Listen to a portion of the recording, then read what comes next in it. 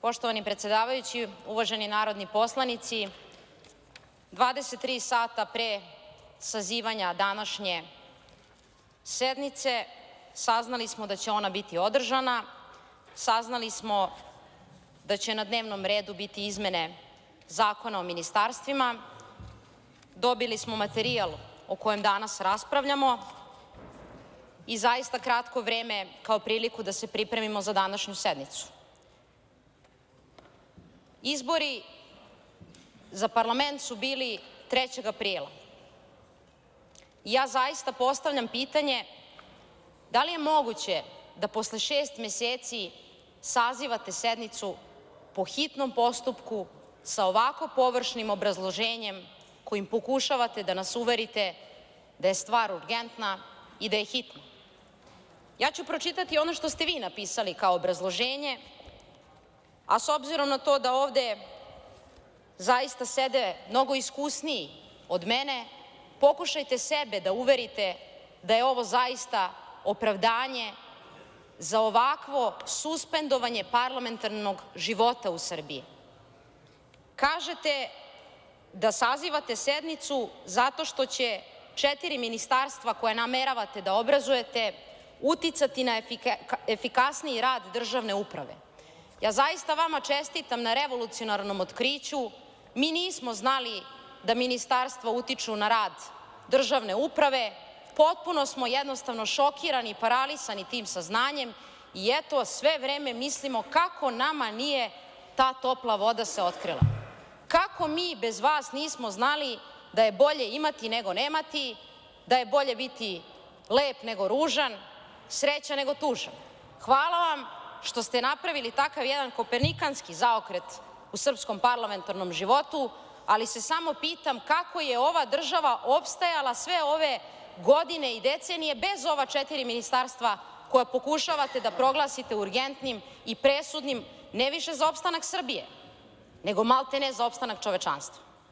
I veoma sam zabrinuta, muči me jedna misa od kako sam otvorila vrata ove sale, pitam se gde će da sednu 25 ministara plus oni bez portfelja koji će se pridodati ovom vašem spisku, s obzirom na to da koliko sam uspela da izbrojim ovde ima svega 20 stolica.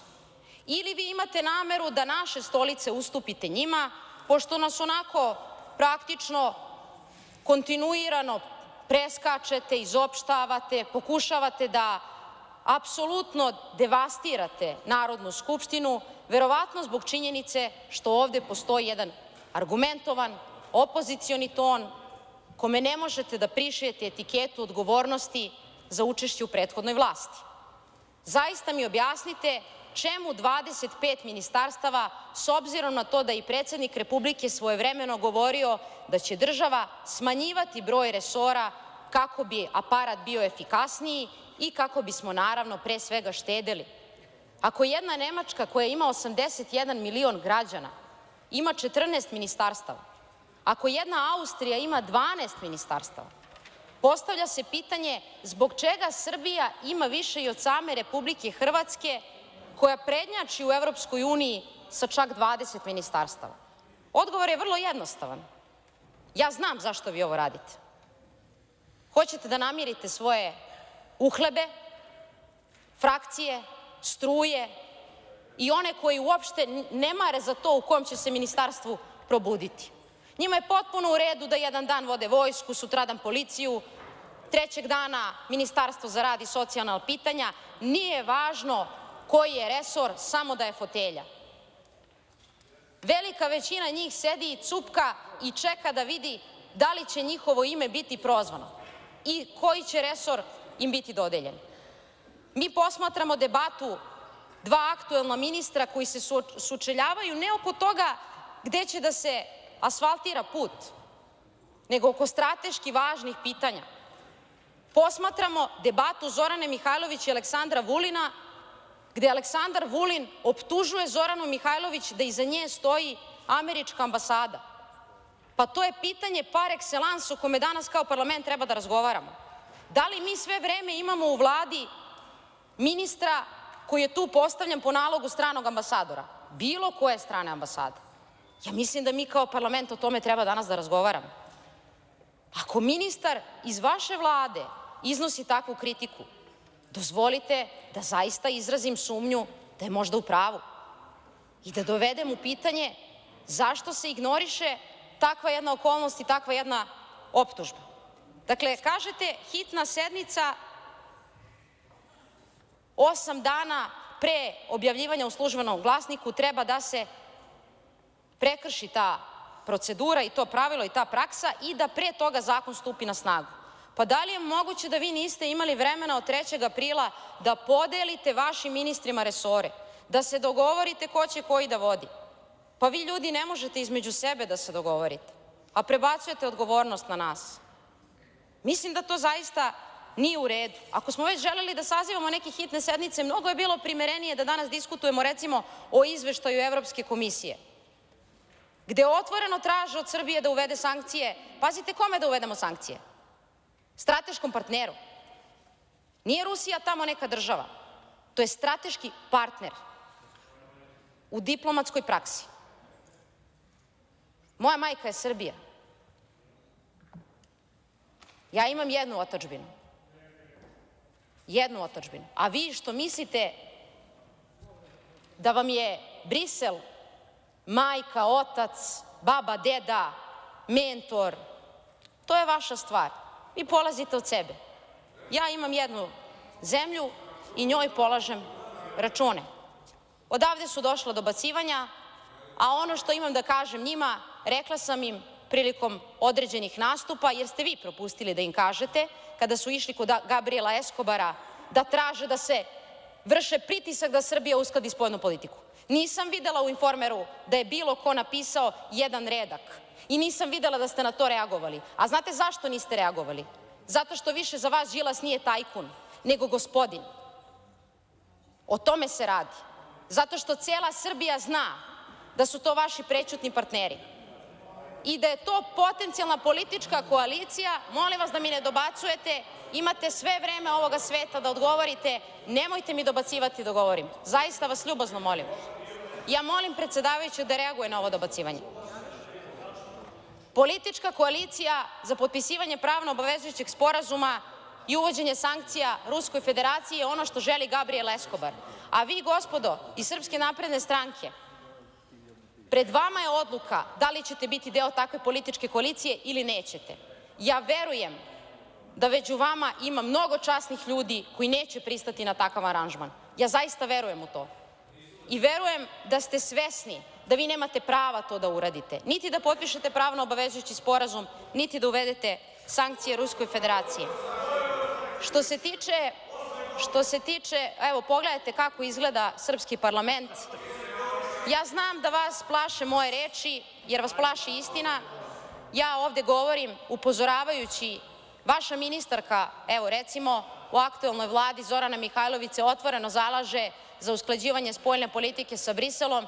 Izvolite, to je vaše kadrovsko rešenje, ona je vaše političko čedo, nije moje, s njom se obračunavajte, nemojte sa mnom.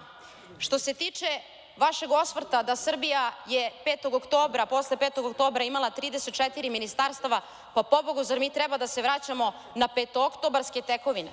Pa zar mi treba da se vraćamo tekovinama dosovske Srbije koju ste toliko puta kritikovali smatrajući je nakaznom tvorevinom koja je opustošila ovu zemlju, rasprodala naše resurse u bescenje. Pa je li to put koji mi danas treba da idemo ili treba da napredujemo i da postavimo recimo pitanje gde je ministarstvo, ako ste već želeli da osnujete nova, gde je ministarstvo recimo za Srbe u regionu i dijaspori? Pa mi imamo vrhunski potencijal kao društvo sa mnogobrojnom srpskom dijasporom gde imamo visoko obrazovni kadar koji bi mogli da pomognu Republici Srbiji. Ako mislite da ćete me dekoncentrisati time što ćete govoriti preko mene, verujte, moja koncentracija je toliko savršena da možemo do kraja ove sednice da pričamo u glas. Zato što verujem u ono što govorim i zato što sam ovde da iznesem istinu. Napravili ste predlog o Ministarstvu turizma i omladine.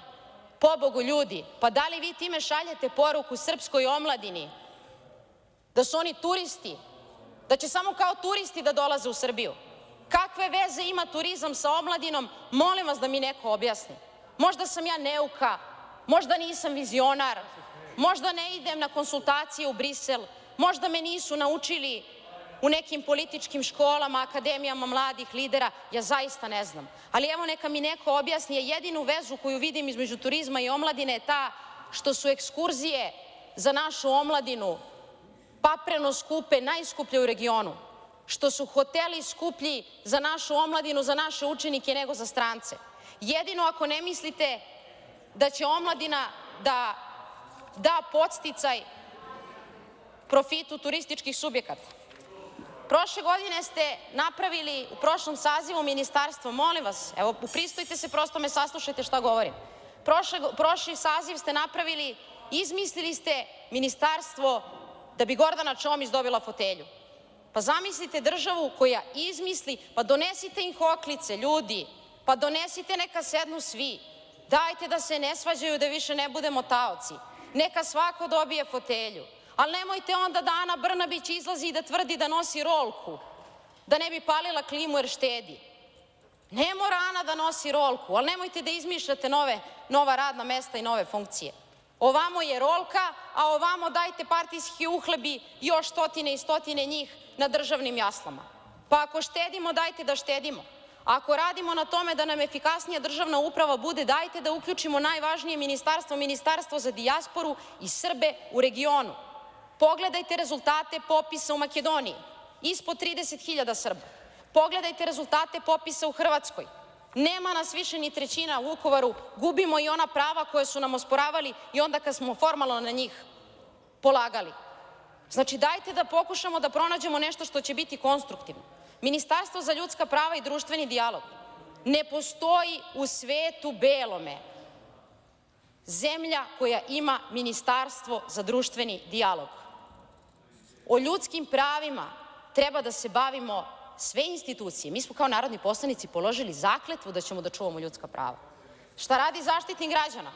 Šta radi Poverenik za zaštitu podataka o ličnosti? Šta radi Ministarstvo pravde? Šta rade sudovi? Oni treba da štite ljudska prava. Nisam čula da se gospođa Čomić ikada oglasila po pitanju eklatantnog kršenja ljudskih prava kada su u pitanju Srbi na Kosovo i Metohiji. Ali sam je čula da je tražila prošle godine da na popisu mogu Vojvođani da se izjasne kao nacija. Pazite, kao nacija. To je bio predlog uz obrazloženje da na taj način ona zagovara evropsku tekovinu višestruke identifikacije. To što se ona višestruko identifikuje, kao recimo bivši demokrata, a sadašnji naprednjak, to ne znači da treba da izmišlja nove nacije. A što je najgore od svega toga, sve to čineći na državnim jaslama. Ovo sve što radite deluje po principu kad dođete pa kupite onako kilogram krompira, pa vam kažu hoćete i tri veze rotkvica uz taj krompir koji ste kupili, dobit ćete tri po ceni jedne. Nemojte da spajate babe i žabe. Turizam i omladina su dve različite stvari. Omladina je društvena vrednost. Omladina je najveći resurs koji srpsko društvo poseduje. Turizam je privredna grana, usluga koju treba da pružimo. Zaista ne želim da verujem da našu omladinu doživljavate kao turiste u rođenoj zemlji. Moram da se osvrnem i na ono što kažete Ministarstvo za informisanje i telekomunikacije. Ne vidim apsolutno bilo kakav spoj između te dve stvari, osim možda ako ste imali u vidu činjenicu da su određeni pružaoci telekomunikacionih usluga i vlasnici određenih sredstava za informisanje u Srbiji, ali zaista ne želim da verujem da zakone krojimo po meri pojedinaca, već po onome što jeste opšte dobro i što jesu potrebe naših građana. Srpska stranka Zavetnici je podnela amandmane, pre svega uz nameru da od vas zatražim dobru volju, da me barem saslušate i da mi kažete zbog čega mislite da ova zemlja ne zaslužuje da ima Ministarstvo za dijasporu i Srbiju u regionu, da to ne zaslužuju Srbi u Crnoj Gori, da to ne zaslužuju Srbi u Republici Srpskoj, da to ne zaslužuju oni divni naši ljudi u Australiji koji su branili Novaka Đokovića i koji su nas podsjetili na sebe i na to koliko ih ima i koliko vole svoju zemlju. Da li hoćete da mi kažete da najveći investitor a to je srpska dijaspora, nema pravo na svoj resor.